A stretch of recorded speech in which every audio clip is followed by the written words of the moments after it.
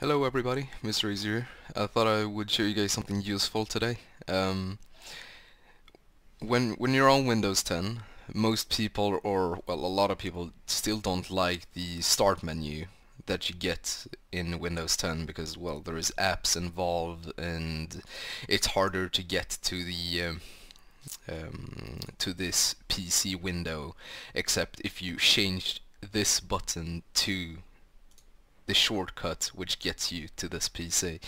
Um, there is a different option which is called Classic Shell and uh, the link will be in the description for this. It's a really useful um, plugin you could call it.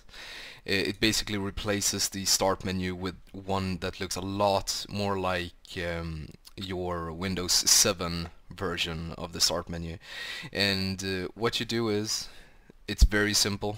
You go to, well basically you can search on Google for a classic uh, shell. You'll get straight into their website and then you press the uh, download now button.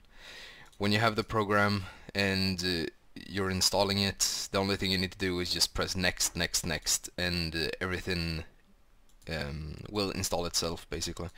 Uh, when you have it installed, what you do is the first time it will ask you for a um, to basically set up the the the program. So the window you will be shown is this window. So settings for classic start menu 4.2.5 if you if you're using using the same menu or version that I'm using. Um, what you have to choose from is basically these three options. Uh, what I use is the Windows 7 style one, uh, which makes it look a lot more like Windows 7. Uh, because it is Windows 10, it will still be using a different like uh, style of uh, the actual start menu to make it fit a lot better with the uh, Windows 10 operating system. Um, but basically if I choose this Windows 7 option right now and press OK you'll see that my start menu will be changed and there won't be any apps in the uh, in the window anymore. This is basically um, the Windows 7 start menu with um, with a different style on it. So it looks a bit more I don't know if you can call it futuristic but uh, much more in style with the uh, Windows 10 operating system. So what you can do now, if you press this PC, you will get uh, launched into the the PC window this time instead of having to change other stuff. So it's a really simple way of just fixing the uh, the classic issues of uh, the Windows 10 start menu, which I personally don't like.